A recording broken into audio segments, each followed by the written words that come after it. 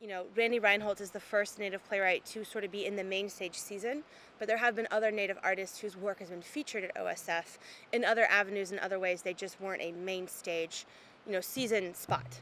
So, you know, want to pay tribute to the Native artists who were here first, right? Because if they weren't here doing their work on the green or interacting with other staff here at OSF, no one would consider even thinking of a Native playwright, right? So there are always you know, when we talk about the firsts, we have to think about everything that came before, right? And and and I think of, you know, in my family we have Cherokee storytellers.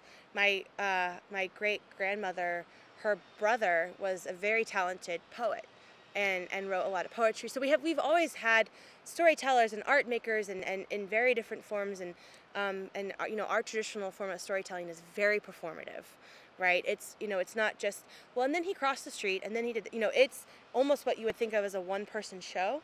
It's, and, and, um, and, and so there are characters involved who have lines, but it's just one person. It's not necessarily a ton of people up there. And so thinking about it from that perspective, you know, and, and recognizing that that's the practice and the tradition we're building on to get here, it's really exciting to be at this point in time. And I think that, um, I've, I've you know, if anyone, if you Google my name and read my blogs, I've had a lot to say about the absence of Native playwrights in the American theater. And as a lawyer, I see the direct connection to the continued harmful legal framework that exists in the United States Supreme Court. Today in the United States, um, our tribal nations cannot exercise criminal jurisdiction over non-Indians who come onto tribal lands and commit crimes. Why is that? Because in 1978, the Supreme Court decided a case called um, Oliphant, where the Supreme Court cited back to an 1823 decision.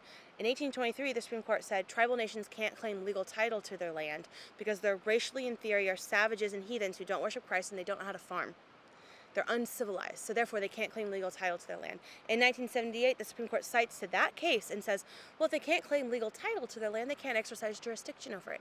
So now we live in a reality where Native women are more likely to be raped, murdered, um, sexually assaulted, domestically abused than any other population in the United States. The majority, a majority of those perpetrators, according to statistics from the Department of Justice, are non-native. So we know non-natives are coming onto tribal lands and committing these crimes, and the Supreme Court has said you can't exercise jurisdiction, criminal jurisdiction over them, based on a narrative, a false narrative, constructed in 1823 that Indians are savages and they don't know how to farm and they're not civilized. Where does that narrative come from? Well, it's no coincidence that in the early 1800s, red face was very popular in New York and on the East Coast, and that white people would put on red makeup and take a bottle of whiskey and grunt on stage and be native, and that was how we were portrayed. And when I look at the American theater today, unfortunately, we haven't really changed that performance.